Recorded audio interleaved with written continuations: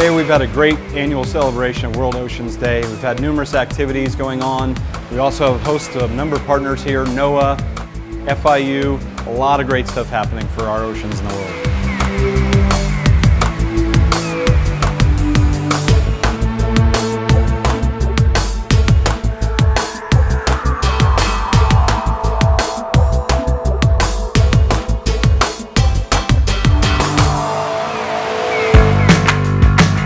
We did a great downtown Miami Bay cleanup today, and not only did we integrate the terrestrial component where we've kind of picked up the litter within the park, but today for World Oceans Day, we integrated our Frost Science dive team into the mix. There's two large boat basins. We had a dive team in there picking up all kinds of odd items off the seafloor bed, things that come in from the current, and unfortunately lots of plastics and lots of items that don't belong in the ocean.